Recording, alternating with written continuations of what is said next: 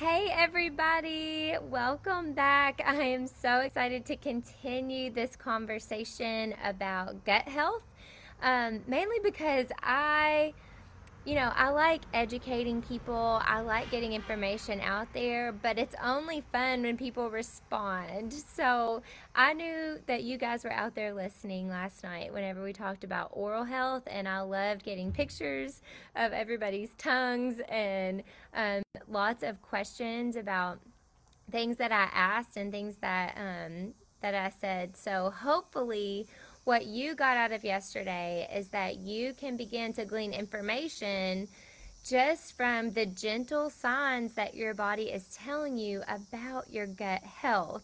These gentle, very, um, very not in your face type symptoms that can tell you just what's going on in your GI tract deep down. So I was really excited that you guys were responding and thinking about it. That is why I'm doing this so I can educate you to start making those sorts of transformations in your mind, body, and spirit. So um, tonight, what we're going to do is talk about the next stop in the GI tract. So, oral health was first, then everything goes down the esophagus and into the stomach. So, the stomach is the next stop tonight hopefully I can help you connect some dots for your random symptoms that you're having that could be connected with your stomach health. What we're going to talk about tonight could um, could upset some people who have thought they're like how they're living and the things that they're doing are a, directed by their conventional healthcare practitioner, or B, they've just thought that's the right thing to do for a long time. So um, know that I'm kind of um, opening up a can of worms a little bit, and I'm doing that on purpose because I do believe that it's good to question is what I'm doing for my body the right thing, um, not just blanketly is this a good treatment, but is it right for my body in particular? So tonight I'm going to open the can of worms and we're going to talk about stomach acid production. So the big thing here is that maximizing stomach acid production is going to be the thing that improves your health overall. It's going to help promote protein breakdown and protect against invasive bacteria in your GI tract further down. So, poor stomach acidity can be linked to extraintestinal symptoms like chronic sinus congestion or skin issues like rosacea and autoimmune reactions. So, when I say extraintestinal, that means that you have symptoms that are outside the GI tract, like not your constipation, bloating, um, diarrhea, things that you would kind of contribute to a GI tract issue, but they're extraintestinal, meaning they are symptoms that are related to your GI tract, but they show up in other places. So if you've had numerous chronic, chronic sinus congestion, sinus infections, you have skin issues, psoriasis, rosacea, acne, and you have autoimmune reactions to things, um, or you have an autoimmune disease, then we want to look at your stomach acidity. Like looking at your tongue, we want to say, let me look at myself in the mirror. It, do I have rosiness in my cheeks? How's my skin? Do I have acne? Do I have chronic dryness? How many sinus infections I have this year? You want to reflect and ask yourself these questions because you can't see your stomach acid. But if you can see those other things, then they will give you signs that there probably is a stomach acid problem. So when we talk about stomach acid, we're talking about on the pH scale. So we'll go back to chemistry. Your your environment inside your stomach can be neutral, it can be acidic, or it can be basic and um, we want it to be acidic because the acid helps break down the proteins that we eat. So everything that's going down the hatch, we need to break it down so that we can actually have the building blocks that we need to make other cells Um, we need the nutrients from those things in order to nourish other places in our body. Um, but the stomach acid also helps to kill off bad bacteria that comes down the hatch. And it also helps to reduce inflammation that originates in the stomach. So think about stomach acid as it is your fire hydrant in the stomach. It's helping to kind of be the gatekeeper for everything that goes into the intestinal tract. So, that being said, we have to bust down the myth that um, if you have heartburn, that you need to go grab some Tums or get on a PPI medication. So this is where I said I'm going to ruffle some feathers a little bit because half of our population is on some sort of PPI or taking Tums chronically to decrease stomach acid. Um, and that is because the symptoms of low stomach acid are the same as high stomach acid. So we, let's look at this from an anatomy and physiology, physiology standpoint. Your sphincters that keep things from refluxing back up into the esophagus actually don't close or, actually close and don't allow reflux to happen when your pH is at the appropriate level. So if the pH is where it should be, then those sphincters don't open. If the pH is too high or the pH is too low, then those sphincters can open and you can get a reflux of symptoms into the esophagus. So when people have heartburn, they automatically think I have too much stomach acid and they go to the Tums or the PPIs. Um, and what we are seeing across the board from a functional wellness perspective is that if you are taking these chronically, you're creating a low stomach acid, poor stomach acid environment in your stomach and decreasing the environment there that and it's it's impacting your overall health. And we'll talk about why here in a minute.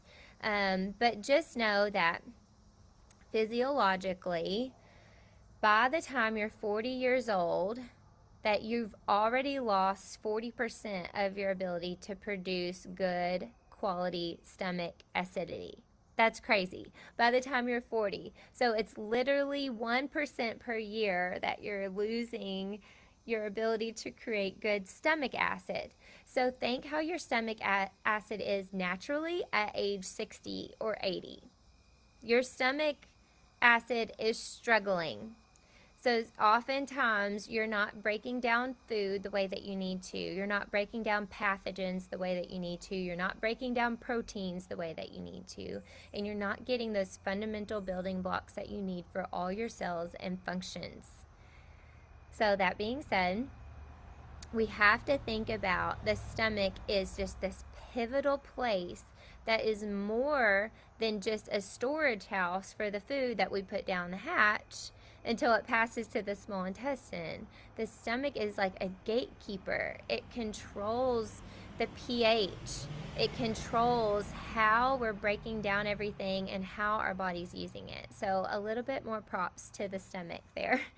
Um, also, know that the stomach has its own immune system action as it breaks down the bacteria and breaks down the viral load. So, it's kind of the next step after our oral health and managing our immune system health. So, just know that it is doing you a lot of favors when there is that acidity. Um, there are so many opportunities that we give in our culture that we live in today for our stomach lining to be damaged and our stomach acidity to be damaged. So, the first one of these is chronic antibiotic use. Um, we tend to get stuck in this cycle where we have chronic sinus infections, um, chronic ear infections with our kids, and we keep treating them with antibiotics. Um, and some of those chronic infections are telling us that there's a problem within that tract, um, that your stomach acidity could need some attention. And but yet we treat it with antibiotics which um, kills off all bacteria including your good bacteria and does cause some damage to the stomach lining. So you get caught in this cycle. So until really we heal the stomach lining and we improve that actual ph level within the stomach then you you can't get out of that cycle which is why it's continued for so many people um, also, excessive caffeine and coffee usage, which is really prominent in our society, can damage that as well. Um, and then, if you like hot, hot, hot peppers, hot, hot, hot food over and over again, um, you could cause some stomach lining damage as well if you're not careful. But let's talk about why the stomach acid is so important not just for those um, acne and all of that that you're seeing, but for your overall health. We want better stomach acidity because of the nitric oxide that is produced. So, yesterday I talked about the lozenges that you can put in your mouth to help with nitric oxide, and I encourage you to go listen to the nitric oxide talk that I did in YouTube a couple months ago. I still encourage you to try to digest this information because it is kind of hard to wrap your mind around it. But what happens when you take that lozenge, it's not nitric oxide right away, it's nitrate. And then when it goes down the hatch, the stomach actually takes the nitrate from the lozenge drops and converts it into nitric oxide which will then be absorbed into the blood and used. So, without the stomach acid, anything that you're putting into your mouth doesn't get converted to nitric oxide, which means it doesn't get into the bloodstream and it's not utilized. This is huge. Other places that you get nitric oxide is like green leafy vegetables, beets, root veggies. I definitely recommend beets. Um, when we eat those, the bacteria in the back of our tongue starts the conversion process when we eat slowly and starts to change it. And then it as it goes down it's broke down and converted in our gut with the right environment in the stomach with the right acidity. And then it's recirculated and concentrated in our in our salivary glands and protecting us from inflammation that's caused by digesting a meal. So, why is this important? Why am I so excited about nitric oxide? If you are sluggish and fatigued all the time, then you probably have a nitric oxide issue. Nitric oxide is a signaling molecule to the body that tells cells how to communicate to one another. So, when it's created and released by the cells as a gas, it easily and quickly penetrates other cells and tells them what to do in less than a second.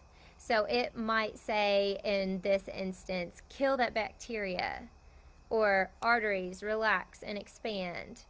And I really believe that like God intricately made all these processes work together so that we can function the way that they do, the way that we do. So in order to have good nitric oxide levels, in order to have good cell communication, in order to have energy for you to do the things that you want to do, you have to have normal stomach acid production. You also have to have a balance of the gut microbiome all the way from the oral cavity all the way down to the rectum, which we'll get to eventually by the end of the week. And you have to consume fruits and vegetables. And when any of these things are out of balance, then your body cannot produce nitric oxide. So now that you have kind of the background for why stomach acid is so important and the science behind why you need that good environment in your stomach in order to convert things the way they need to, in order to kill off bad bacteria and help there be a gateway from your stomach to your intestines now let's talk about what I want you to do. So yesterday I had you look at your tongue and you told me some things about it, but today I want you to try to make an at-home digestive enzyme. So apple cider vinegar, just a bit of apple cider vinegar, a bit of ginger juice or grated ginger, um, a bit of lemon juice. You can do one to ta two tablespoons before a meal to support the stomach acidity. You can sip on it all day. It is soothing and healing for the stomach lining. You can drink it warm or cold, and sometimes you can put a pinch of local honey to help the immune system there and help with the bitterness. But I will do a demo on that as well um, to kind of show you guys what to do there. Um, sometimes the taste does bother people, but I think it's kind of an acquired taste, like some things. Um, if you really struggle with it, and you really do think you're really struggling breaking down those proteins, uh, you can put in some active amino acids. So I will put a link in the comments to an amino acid that I recommend. And um, it does have a bit of a, a flavor to it. So sometimes if you mix that in, it does make it kind of a yummy, rewarding drink that you can have. And your kids might drink it too. Um, and so it's something that you can try to make as a pre meal drink for the whole family. The amino acids help with the taste, but also it helps the stomach absorbs some amino acids directly where it doesn't have to go through the process of breaking down the proteins in order to get the amino acids. So think about it as you're really healing that gut lining.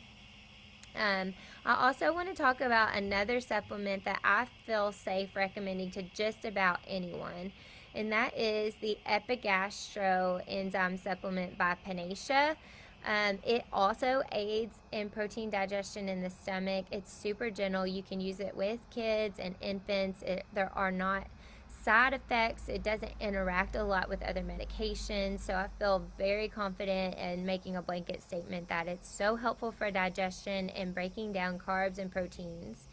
But it also has herbals in it that help healing with healing the gut lining, the stomach lining itself. So um, just think about if you use this as kind of a pre meal digestive enzyme as well. You could take one if um, if you're a child or if for your children you can open up the capsule and put it in. Um, i would actually even like mix it in with that drink concoction um, and take two for adults before a meal.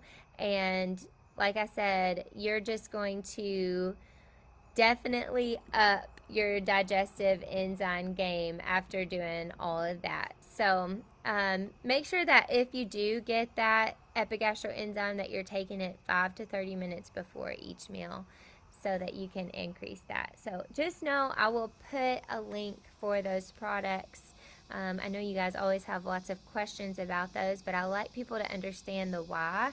And I also only like to recommend things that I feel are safe and effective for just about everybody when we're in this kind of scenario. So as always, make sure that if you have questions that you're asking your medical doctor about them as you're adding in things to supplement. So, tomorrow is day three of the challenge, and we'll be talking about the small intestine. We're also going to talk about fermentation. We're going to talk about some SIBO yogurt. And know that if you bought the supplements that I put in the bundle that I recommended for this week, Tomorrow we're going to talk about them. and We're going to talk about how to take them and why they are important for the small intestine. So I hope you guys are having a great night and enjoying some of this beautiful weather. And hopefully, if you have any questions, you will put them in the comment section so that I can get to those and try to answer them as much as possible. And hopefully, next week I'll have a live Q&A where we can um, just answer some of those questions live too. So I hope you guys have a wonderful night, and I will talk to you soon. Bye.